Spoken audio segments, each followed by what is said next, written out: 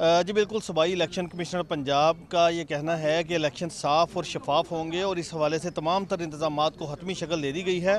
Sir, बताइएगा कि आठ फरवरी के इलेक्शन से मुतलिक जो ख्वाजा सरा हैं, क्या वो भी वोट कास्ट कर सकते हैं? और इस हवाले से क्या इंतज़ाम किए गए तमाम जो अहल वोटर्स हैं उसमें जो भी लोग शामिल हैं उनको मुकम्मल तौर पर वोट डालने का हक हासिल होगा। बल्कि मैं आपके चैनल के थ्रू पंजाब की आवाम और बिलखसूस जो हमारे जो बुज़ुर्ग हजरात हैं, जो ख़वान हैं, जो नौजवान हैं, उनको मैं पैगाम देना चाहता हूँ कि इन ताला पोलिंग स्टेशन पर बहुत अच्छा इंतज़ाम किया गया है। वो वोट के लिए घरों से निकलें।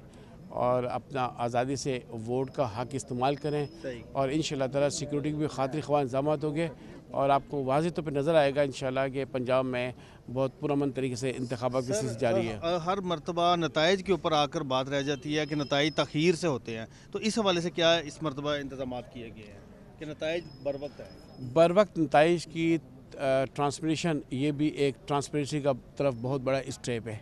और इस सिलसिले में इलेक्शन कमीशन ऑफ़ पाकिस्तान ने पिजानी अफसान को ट्रेनिंग भी कहा था कि फार्म 45 की तैयारी बिल्कुल बेहतरीन अंदाज से करें अच्छी तरह बनाएँ बिल्कुल केयरफुली बनाएँ गलती का कोई चांस नहीं होना चाहिए। जैसे ही रिज़ल्ट तैयार हो जाए तो पोलिंग एजेंट्स को कापी प्रोवाइड करें साथ साथ पोलिंग स्टेशन पे लगा दें। खत्म होने के बाद कितने घंटे तक रिज़ल्ट मिल सकते हैं? कोई अब अब इसके लिए कोई मैं टाइम की कोई कैलकुलेशन तो नहीं कर सकता लेकिन यहाँ डिपेंड्स करता है कि उस पोलिंग स्टेशन पर जो नंबर ऑफ़ वोट जो कास्ट हुए हैं उस पर के ज़्यादा उसकी फिगर्स को काउंट करना करना लेकिन जैसे ही कंप्लीट होगा प्रोसेस फार्म फोर्टी फाइव तैयार होगा तो इन ताला वो आपके पास पहुँच जाएगा। सर जो हसास पोलिंग स्टेशन है वहाँ पर क्या सिक्योरिटी के इंतज़ाम हैं? हसास और पंजाब हसास पूरा इंतहाई हसास पोलिंग स्टेशन पर पुलिस की नफरी की तादाद ज़्यादा है और वैसे नॉर्मल हम चार रखते हैं यहाँ पर कि वहाँ पे छः और या आठ की फिगर्स भी हैं और साथ साथ क्यू आर एफ़ की पोजीशन भी उनकी नज़दीक होगी और आर्मी पाकिस्तान आर्मी की खिदमत भी